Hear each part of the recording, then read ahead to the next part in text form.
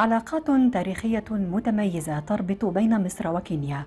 تعود إلى ستينيات القرن الماضي عندما ساندت مصر حركات التحرر الإفريقية وفتحت أبوابها للزعماء الأفارقة الوطنيين وأمدتهم بكافة وسائل الدعم الممكنة وصولا إلى التحرر والاستقلال.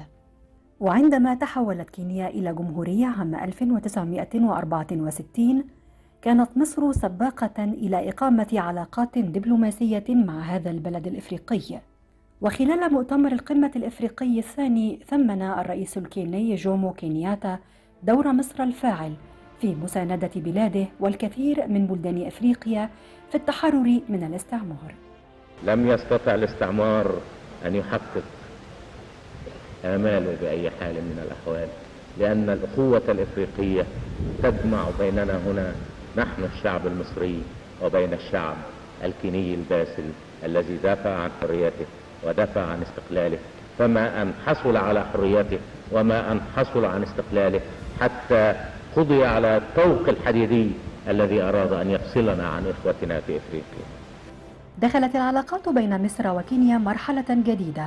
مع تولي الرئيس عبد الفتاح السيسي بالزيارة التاريخية التي قام بها الرئيس السيسي إلى كينيا في الثامن عشر من فبراير عام 2017 إن مصر وكينيا يربطهما شريان واحد وهو نهر النيل وتاريخ طويل من التعاون البناء وتتشاركان في ذات التطلعات والتوجهات. فالبلدان يسعيان لتحقيق التنمية والرخاء الاقتصادي لشعبيهما اعتمادا على إمكاناتهما الكبيرة وموقعهما الاستراتيجي. ونحن نؤمن بأن التعاون الاقتصادي بينهما سيكون عاملا حاسما في تحقيق هذه الأهداف. التزم البلدان بعدها بالارتقاء بعلاقاتهما الدبلوماسية الثنائية إلى مستوى شراكة استراتيجية. كما تم الاتفاق على تسريع الفوري للعلاقات الاقتصادية والتجارية والاجتماعية بين البلدين ولا سيما في مجالات الإسكان والصيد والزراعة والأمن الغذائي. والصحة والسياحة والطاقة المتجددة والتعاون في المجال الأمني.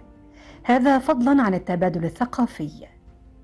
وجاءت زيارة الرئيس الكيني إلى القاهرة لتعكس عمق الروابط المتينة التي تجمع بين البلدين وشكلت فرصة متجددة لإعطاء دفعة لهذه العلاقات وتميزت القمة المصرية الكينية بتقارب وجهات نظر البلدين حول العديد من القضايا ذات الاهتمام المشترك لا سيما الاندماج بالقارة السمراء وإصلاح الاتحاد الإفريقي وإحلال السلام والأمن في القارة. وجسدت اللقاءات المتبادلة حرص الزعيمين الدائم على توطيد العلاقات الثنائية على كافة المستويات فضلا عن تبادل الزيارات بين كبار المسؤولين.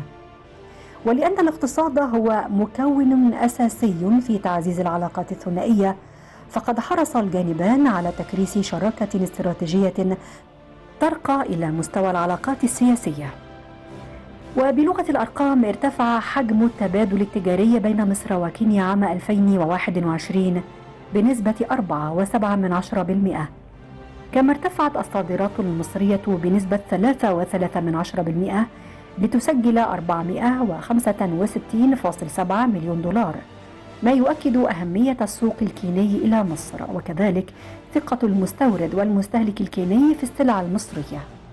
ويتعزز الحضور المصري على مستوى القارة بمشاركة الرئيس عبد الفتاح السيسي في الاجتماع التنسيقي نصف السنوي الخامس للاتحاد الإفريقي والمجموعات الاقتصادية الإقليمية والآليات الإقليمية في العاصمة الكينية نيروبي يوم السادس عشر من الشهر الجاري.